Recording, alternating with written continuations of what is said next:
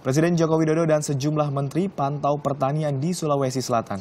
6.000 petugas gabungan disiagakan untuk mengamankan kedatangan Presiden di Sulawesi Selatan. Presiden Joko Widodo Rabu siang berkunjung ke Makassar, Sulawesi Selatan. Aparat kepolisian pun bersiaga mengamankan lokasi yang akan dikunjungi Presiden. 6.000 personel gabungan dari Polri dan TNI diturunkan di lokasi-lokasi rawan, mulai dari bandara, pertigaan Petarani Alauddin, hingga jalan-jalan yang dilalui Presiden.